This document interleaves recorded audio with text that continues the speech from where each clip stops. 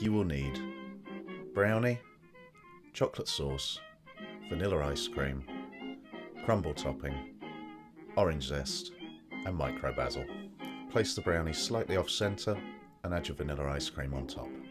Squirt a small pool of chocolate sauce off to one corner, sprinkle crumble topping on top, then garnish with orange zest and micro basil.